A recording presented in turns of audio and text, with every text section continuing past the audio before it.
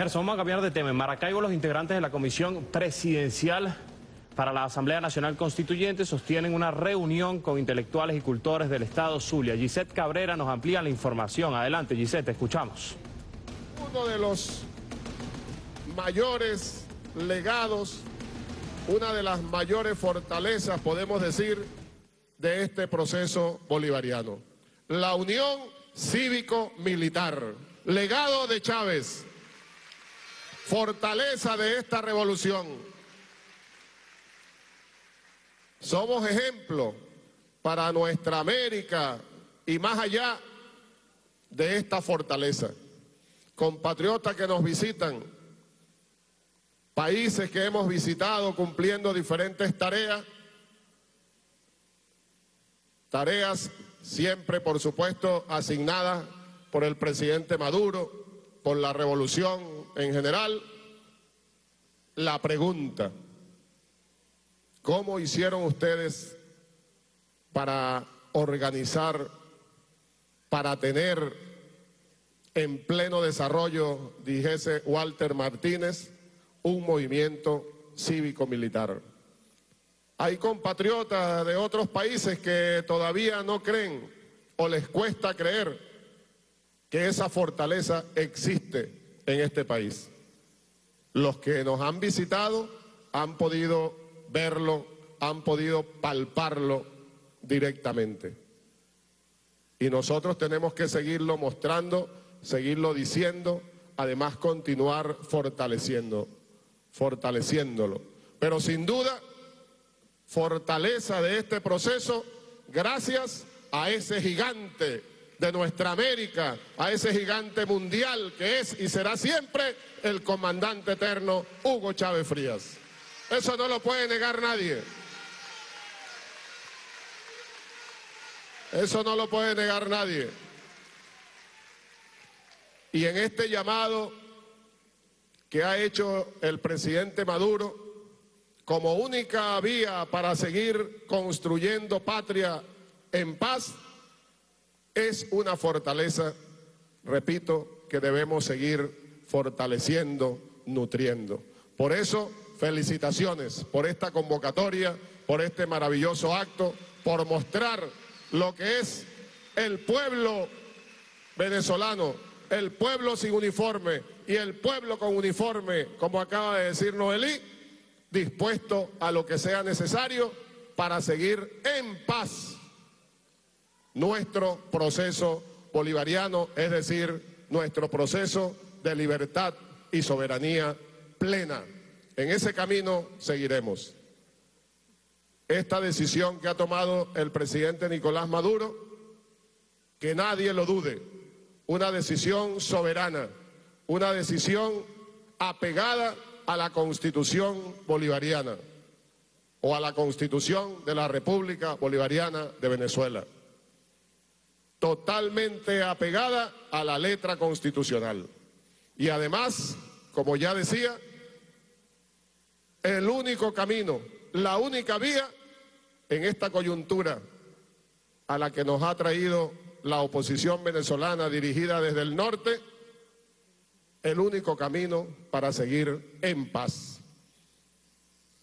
Y estoy seguro que ustedes comparten conmigo que es sabia decisión, decisión de un estadista que sigue mostrando que es digno hijo de Chávez, el presidente Maduro, y que lograremos los objetivos que nos hemos propuesto. Seguiremos en paz construyendo libertad y soberanía para nuestra patria. Y así estos actos, estas asambleas, estos conversatorios, las visitas y el trabajo diario y permanente en nuestras comunidades tienen que ser actividades del tamaño que sean. Lo hagamos en el terreno en que lo hagamos actividades unitarias. Mucha unidad. Noelí lo decía y tomo sus palabras. No nos estemos peleando. Tenemos algunas diferencias, por la causa que sea. Bueno, vamos a conversar. Vamos a conversar. Es a lo que nos sigue llamando el presidente Maduro, siguiendo la línea del comandante Chávez.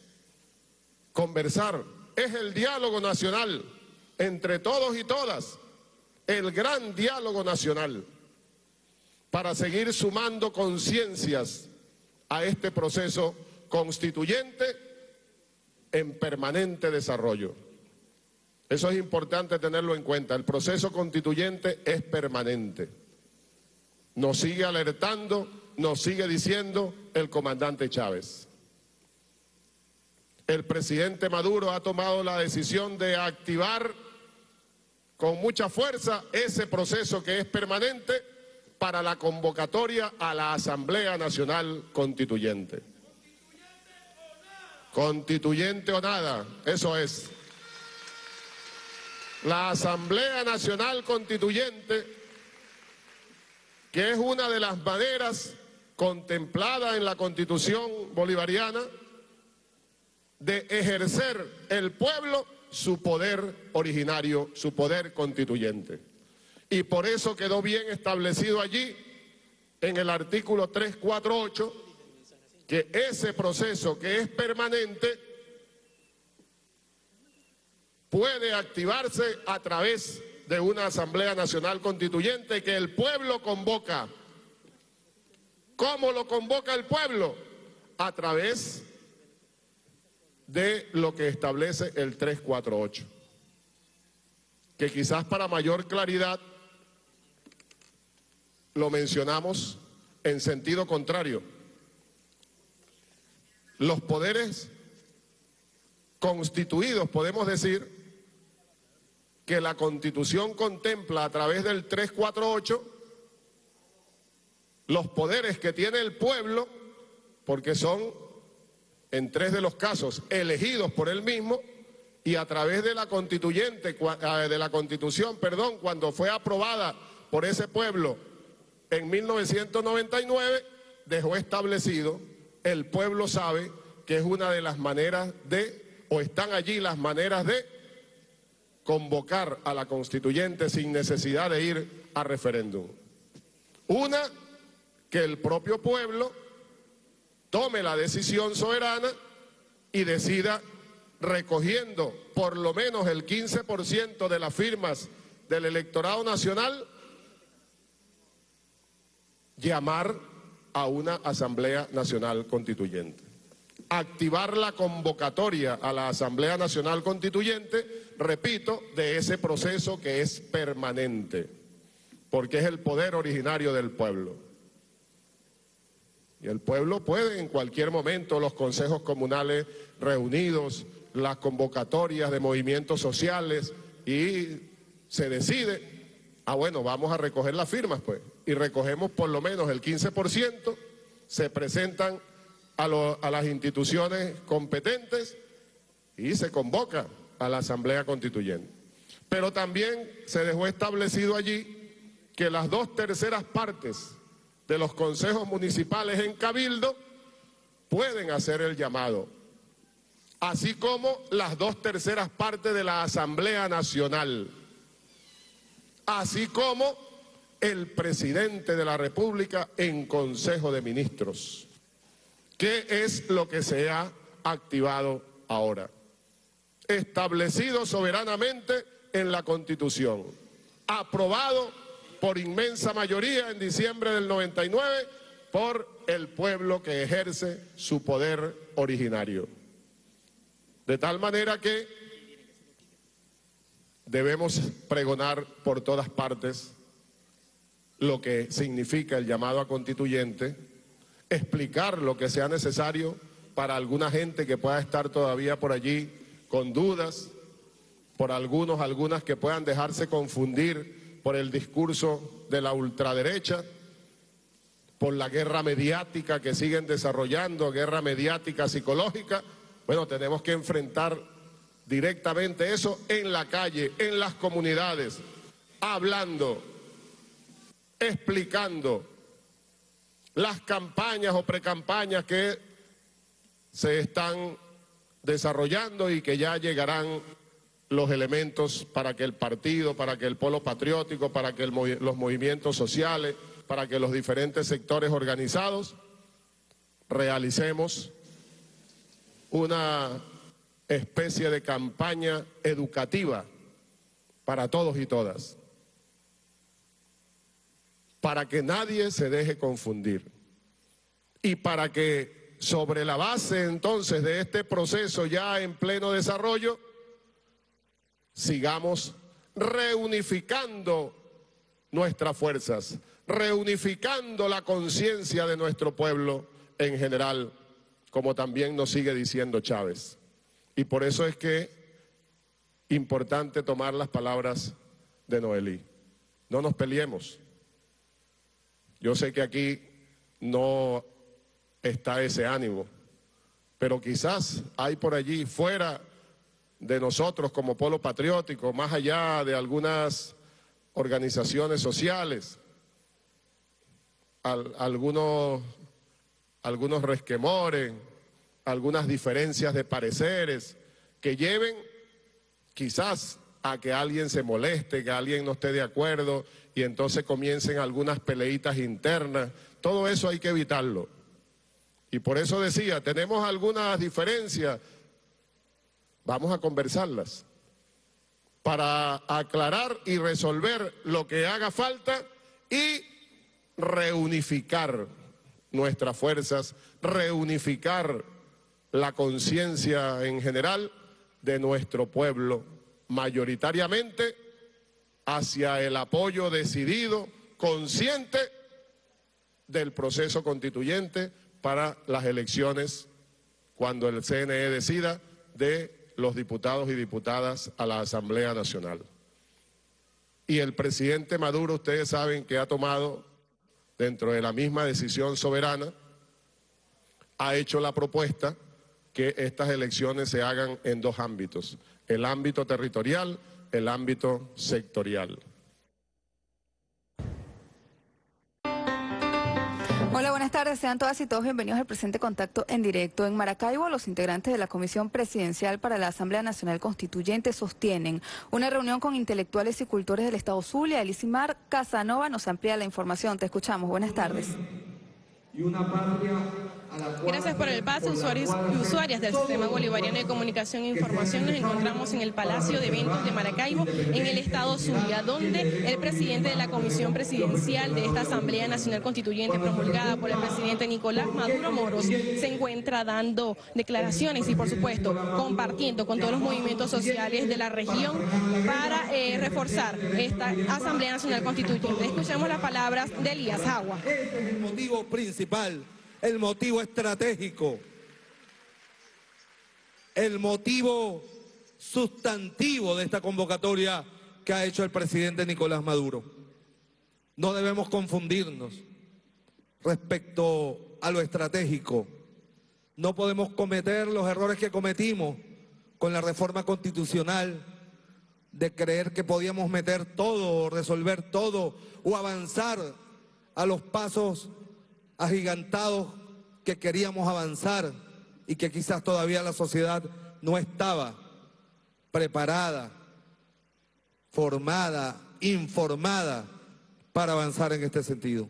Por eso, hoy, cuando a cualquiera de nosotros nos pregunten, ¿para qué constituyente? Para ganar la paz, para detener los tambores de la guerra, para defender la independencia nacional, para defender el derecho a vivir en paz, que tenemos como pueblo. Ese es el objetivo central, sustantivo de esta convocatoria impecablemente constitucional que ha hecho el presidente Nicolás Maduro. ¿Tenía el presidente Nicolás Maduro otras opciones? Desde nuestro punto de vista, no. Porque ante la injustificable negativa de la dirigencia de la MUC a sentarse a dialogar, a retomar el camino del diálogo y de la ruta que habíamos aprobado en noviembre del año pasado. Y esto es importante saberlo y profundizar, porque ellos dicen, no nos sentamos porque el diálogo con el gobierno no da resultados, porque el gobierno lo que quiere es ganar tiempo y nunca hemos logrado ningún resultado con el diálogo. Eso es absolutamente falso. El diálogo que logramos después de tanto insistir, después que llamamos a los expresidentes, a la Unión de Naciones Suramericanas y al mismísimo Papa Francisco, quien envió un enviado personal, un comisionado personal, el presidente Nicolás Maduro y nosotros, sus comisionados, nos sentamos con una propuesta y a construir una hoja de ruta con los miembros de la oposición que fueron designados para tal fin. Y allí quedó plasmada una vía, una ruta para solucionar políticamente este conflicto institucional que surgió cuando ellos desconocieron al Tribunal Supremo de Justicia desacatando una decisión del Tribunal Supremo de Justicia. Y cuando intentaron de manera inconstitucional sacar al presidente de la República usando su mayoría parlamentaria cuando no tienen ninguna competencia constitucional para eso. ¿Y saben por qué? Porque el concepto de democracia que está plasmado aquí en nuestra Constitución es la democracia participativa y protagónica. Y por eso quedó excluido de las competencias del Parlamento, el llamado juicio político con el cual se dan golpes parlamentarios en los países vecinos de nuestra América Latina. ¿Por qué? Porque la esencia de la democracia y de la voluntad popular no puede ser sustituida por una mayoría circunstancial parlamentaria que desconozca a millones de hombres y mujeres que escogieron a un presidente como nosotros lo escogimos el 14 de abril del 2013 a Nicolás Maduro, presidente de la República. No es el caso, vean, vean la diferencia conceptual entre la democracia participativa y protagónica y la democracia representativa. En Brasil, 500 parlamentarios, menos de 500, porque fue un número 300 y pico de parlamentarios, desconocieron la voluntad de 55 millones de brasileños y brasileñas que habían votado por la presidenta Dilma Rousseff. Igual ocurrió en Paraguay. 200 parlamentarios y 20 senadores desconocieron la voluntad de millones de paraguayos. Y ahí está la grandeza de nuestra constitución y del modelo que el comandante Hugo Chávez planteó. Aquí en Venezuela, solo el pueblo pone gobierno y solo el pueblo los quita el pueblo en ejercicio de su soberanía popular, no grupos parlamentarios. Y en esta constitución se dejó abierto la posibilidad de superar crisis institucionales y políticas por vías distintas a lo que había sido tradicionalmente en Venezuela. Primero en la década, en el siglo XIX, cómo se solucionaban los problemas en Venezuela mediante la guerra civil. Cada vez que había un conflicto entre las élites políticas, liberales y conservadores, vámonos para la guerra. ¡Pum! Una partida de, caballería por aquí, por allá. Nos pasamos 100 años matándonos. Todo el siglo XIX. La primera parte luchando por nuestra independencia. Y la segunda parte matándonos entre nosotros. Después vino el siglo XX. Y durante la primera mitad del siglo XX, la solución a los conflictos políticos e institucionales fueron los golpes de Estado. Y después vino la traición al espíritu del 23 de enero y vino el otro modelo de superar los conflictos, el pacto entre élites, que excluía siempre al pueblo. En esta constitución se dejaron los mecanismos para que no sea ni la guerra, ni el golpe de Estado, ni el pacto de élite de traición a un pueblo los que abran y despejen el horizonte de la patria. Aquí se reconoce plenamente que el único que tiene derecho a despejar el horizonte de la patria es el poder originario de nuestro pueblo, en ejercicio pleno de su soberanía popular. Y a eso es lo que ha apelado el presidente Nicolás Maduro, ante un juego trancado por la negativa de la oposición a cumplir los acuerdos. Y retomo la hoja de ruta. ¿Qué decía la hoja de ruta aprobada? Desincorporamos, ellos desincorporaban a los diputados que habían sido incorporados de manera fraudulenta, porque habían sido electos de manera fraudulenta y la sala electoral los había desproclamado. ¿Alguien puede dudar que en Amazonas hubo un gigantesco fraude? Con la conversación como prueba fundamental del propio gobernador del estado dirigiendo la compra de votos, la alteración de las máquinas mediante el ejercicio de la apertura del porcentaje que hay para las personas con alguna discapacidad que no tienen para poner la huella digital. Eso quedó comprobado y por tal razón la sala electoral desproclamó a esos diputados. ¿Y cuál es el deber de alguien, de un demócrata, de un republicano? Acatar la decisión del Tribunal Supremo de Justicia. ¿O es que acaso Hugo Chávez no fue un maestro en eso? Ayer lo veíamos en el programa de Jorge Rodríguez. No una vez, dos veces Chávez dio demostración de lo que es un líder con talante democrático. Primero, cuando en la del 61 no había mecanismos aquí, él planteó en su decreto una forma de elegir la constituyente y la Corte Suprema de Justicia de entonces, la vieja Corte, le reformó el decreto que el presidente había hecho.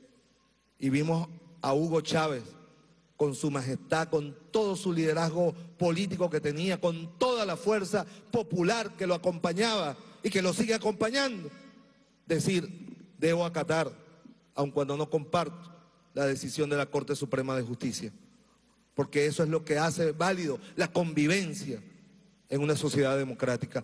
Y luego el caso más ejemplarizante o ejemplificante de lo que es el acatamiento a los poderes públicos, lo hizo cuando el Tribunal Supremo de Justicia decidió que aquellos generales y almirantes que lo secuestraron, que lo derrocaron del ejercicio legítimo de su gobierno, el Tribunal Supremo dijo que habían actuado preñados de buenas intenciones. Y Hugo Chávez dijo, no la comparto, la calificó duramente, pero la cato, porque es una decisión del Tribunal Supremo de Justicia. Porque si las decisiones del Tribunal Supremo de Justicia no se acatan, la República no existe. No existen reglas de juego. Y es lo que ellos han hecho cuando desacatan al Tribunal Supremo de Justicia. Por eso el primer punto en la ruta era que ellos acataran la decisión de la sala electoral y que en consecuencia entonces el poder electoral convocaba elecciones en el estado Amazonas para que se eligieran de nuevo a, todos los diputados, porque incluso fueron desproclamados los diputados nuestros. Y a partir de allí se iniciaba un cronograma electoral. Las elecciones en Amazonas debían ocurrir en el mes de febrero. Y en paralelo comenzaba la legalización de los partidos políticos, cosa que se hizo. Se inició a pesar de que ellos no cumplieron la primera parte del acuerdo. ¿Por qué tenían que legalizarse? porque como todos ellos fueron en una sola tarjeta y la ley de partido dice que los partidos son legales de acuerdo al último resultado electoral y ninguno de ellos tenía un resultado electoral porque habían ido unidos en una sola tarjeta. De manera que el único partido que existía, que no es partido, sino una coalición, era la MUC. Pero Primero Justicia no tenía manera de probar su legalidad ni Acción Democrática, ni, ni, muchos partidos del pueblo patriótico tampoco, que no habían logrado, ellos porque no tenían medición electoral, y algunos partidos del polo patriótico porque no tenían el porcentaje. ¿Y qué dice la ley de partidos políticos de hace 40 años que está vigente? Que quienes no reúnan eso tienen que legalizarse recogiendo firmas. Y allí se iniciaba el cronograma electoral que ya estaba fijado para junio de este año elecciones regionales y para diciembre elecciones municipales. ¿Y cuál era la, otra parte, el otro documento? La convivencia pacífica, el reconocimiento al gobierno, el abandono de la violencia y la promoción del odio como forma de hacer política. Ambos documentos fueron abiertamente violados por la dirigencia de la oposición venezolana. ¿Por qué razón? Uno, por problemas internos de división interna de la oposición y el juego permanente que tienen ellos por quién es el candidato presidencial a costa de la destrucción del país. El segundo elemento, la llegada al gobierno de los Estados Unidos de una facción extremista del imperio, que les ha dado luz verde y los ha presionado incluso para que activen este plan de violencia al cual han sometido a la patria en estos últimos 40 días. Y el tercer elemento, evitar la recuperación económica, social y la estabilidad del país para llevarnos en medio de un caos a unas elecciones donde el pueblo no pueda decidir sobre un libre juicio sobre el proyecto de país que quiere, sino sobre la base de la desesperación y la angustia como lo hicieron en el 2015. Por eso, frente a esto, la negativa al diálogo, la subordinación como nunca antes ha habido en Venezuela a una potencia extranjera por parte de fuerza política alguna, y frente al intento, a la decisión ya ellos de no permitir la vida normal del país, el presidente Nicolás Maduro hizo lo que tenía que hacer. El problema no soy yo, el problema es que se desconoce a una parte importante del país, a esta fuerza cívico-militar que es el chavismo, expresión de una corriente histórica que es la de Simón Bolívar, de una corriente histórica que es la de la resistencia indígena, de una corriente histórica que es de la resistencia afrodescendiente, de una resistencia histórica de un pueblo que tiene derecho a vivir y que también tiene derecho a gobernar. Nosotros tenemos derecho a gobernar, los campesinos tenemos derecho a gobernar, los militares tienen derecho a gobernar, los indígenas tienen derecho a gobernar, el pueblo tiene derecho a gobernar. Y a nosotros se nos ha irrespetado el derecho a gobernar. No importa si el precio del petróleo está a 150 y si hay comida y si hay derechos, no importa, hay que tumbar a Chávez o a Maduro. No importa si ganamos elecciones con 10 o 15% por encima, igual te desconozco. No importa si perdemos y nosotros lo reconocemos a ellos, como lo hizo el presidente Nicolás Maduro en diciembre del 2015, al minuto de que la rectora Tibisay Lucena dio los resultados tristes para nosotros, ¿verdad? ¿Cómo no olvidarlo? Y el presidente dijo, lo reconozco. Y el 17 de enero estaba allí en la Asamblea Nacional, señor presidente de la Asamblea Nacional, diputado Henry Ramos Alú, yo lo reconozco a usted y reconozco a la mayoría que aquí usted representa. ¿Lo dijo o no lo dijo el presidente Maduro? ¿Y cuál fue la respuesta de ellos? El desconocimiento en seis meses te vas Maduro la ofensa allí mismo a la Fuerza Armada Nacional Bolivariana, la ofensa a nuestro símbolo más sagrado, Bolívar y Chávez. Es un desconocimiento permanente, ese es el mar de fondo, compatriota. Y allí está el peligro con el cual nosotros queremos conjurar, o al cual nosotros queremos conjurar con esta Asamblea Nacional Constituyente. Imagínenselo, si siendo oposición nos desconocen de la manera como nos desconocen. Asesinan a nuestra Fuerza Armada Nacional, nos lanzan excremento, han desatado una persecución contra la familia militar y contra la familia de los dirigentes revolucionarios y de los chavistas. Imagínenselos en el gobierno, con una agenda de odio y de revanchas. No pueden volver porque ocasionarían una guerra civil en Venezuela, porque nosotros tendríamos el derecho a defendernos frente a esa agenda de revancha y de odio en cualquier circunstancia. A nosotros no nos van a desaparecer, a nosotros no nos van a borrar de este país, porque nosotros en cualquier circunstancia nos vamos a quedar aquí en Venezuela corriendo la misma suerte de nuestro pueblo, de nuestra gente, de nuestra historia.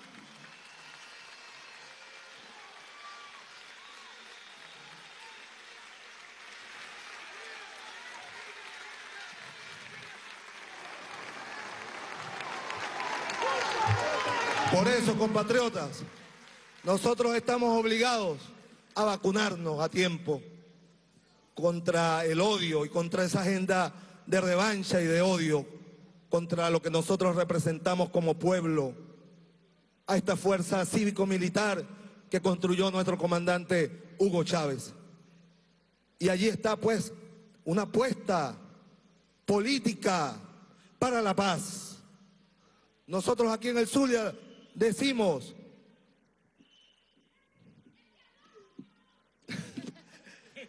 y decimos que los amamos a ustedes también, pero le decimos a las fuerzas políticas del Zulia, va a haber una elección, la constituyente son e-, elecciones democráticas, universales, secretas y directas. Y como lo ha dicho el presidente Nicolás Maduro, aquí no hay una segunda intención. El presidente lo ha dicho, en el 2018 habrá elecciones presidenciales en Venezuela, pero en condiciones de estabilidad política, social y económica, que es lo que nos va a permitir la constituyente como forma para reorganizar el Estado, para replantear este juego político.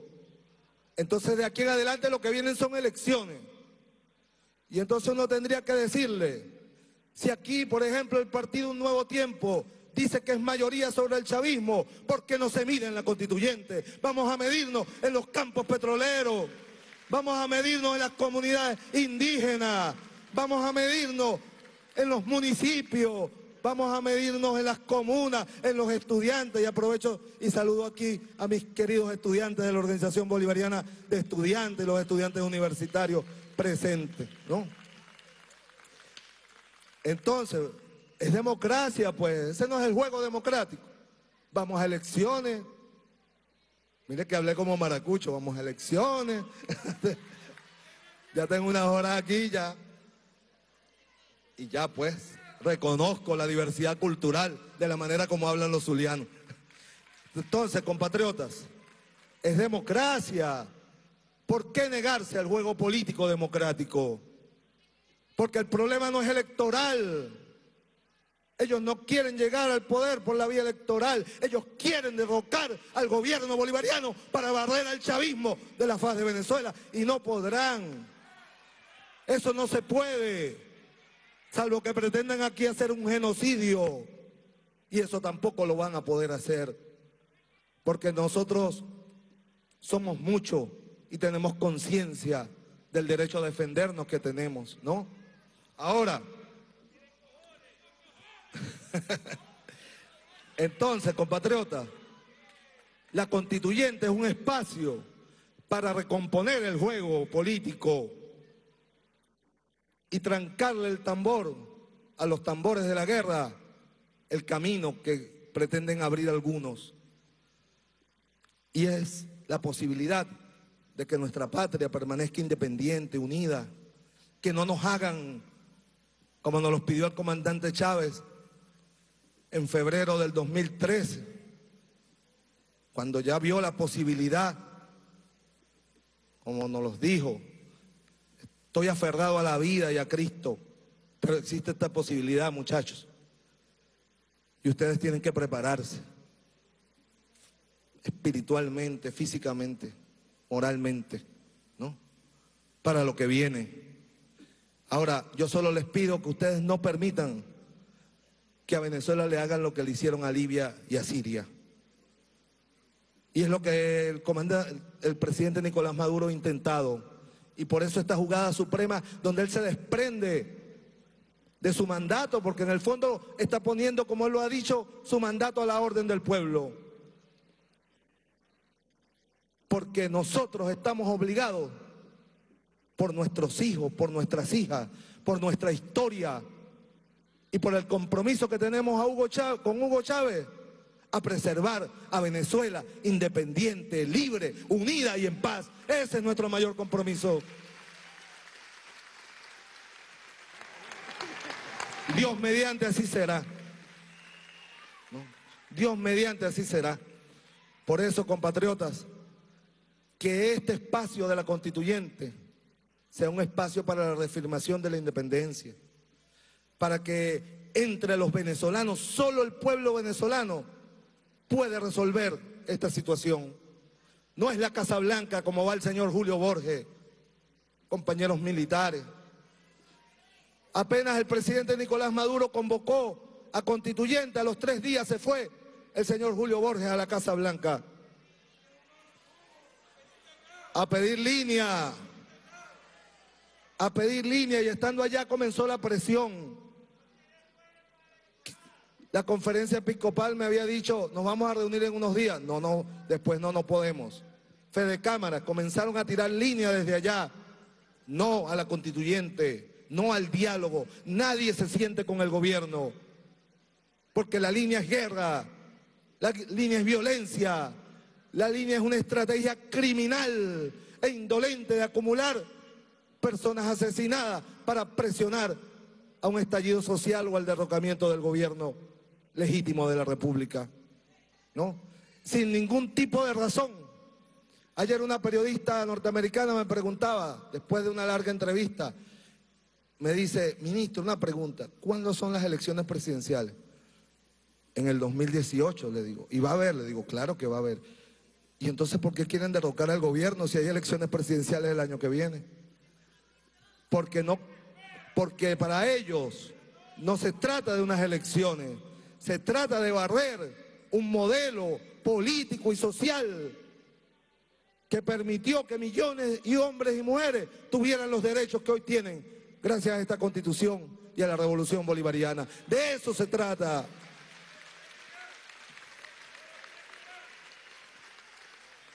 de invisibilizar nuevamente a nuestros hermanos indígenas, de invisibilizar a los militares, como ellos dicen, los militares para su cuartel y calladito.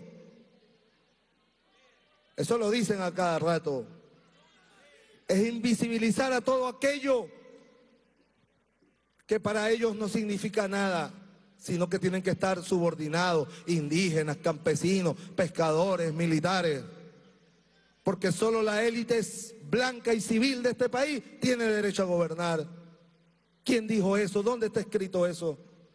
Nosotros nos ganamos el derecho a gobernar de manera democrática.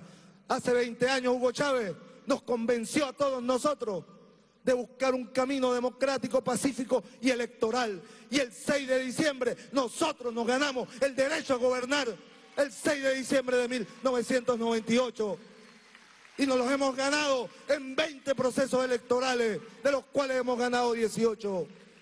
Nosotros no estamos aquí por la fuerza, nosotros no estamos aquí porque nos dieron una concesión graciosa, nosotros estamos aquí porque tuvimos un líder que supo convencernos, convocarnos y llevarnos a la victoria. Y en esa victoria estamos obligados a permanecer, compatriotas, compañeros, compañeras. Vamos pues, allá veremos, yo siempre digo, como vi, orgulloso, entrar a Noelipo Caterra y a dos hermanos indígenas más en la constituyente. Por primera vez entraban los indígenas al Parlamento Federal con su propia lengua, con su propia historia, con su propia cultura, elegidos por sus propios pueblos. Allá veremos, aunque sea por televisión, entrar a los comuneros y a las comuneras, a los trabajadores y a las trabajadoras, a los estudiantes y las estudiantes, a los pescadores, a los empresarios, a los pensionados, adultos mayores, a las personas con discapacidad. Allá los veremos entrar con su propia voz, con su propia historia, como vimos entrar a Noelipo Caterra en 1999. Vamos pues, compatriotas, como nos enseñó Chávez, a la calle, a la carga, a la victoria, por la paz de Venezuela, por la independencia, por la vida, por la patria. Chávez vive. Chávez vive, vive. Hasta la victoria siempre. Palabras del presidente de la Comisión Presidencial de la Asamblea Nacional Constituyente, Elías Jagua, que se encuentra en el Estado Zulia, eh, concentrado con el poder popular constituyente, con el poder popular originario, en este gran debate que ha originado el presidente de la República, Nicolás Maduro, conforme esta nueva Asamblea Nacional Constituyente que ha convocado. Con esta información retornamos el pase a los estudios. Adelante.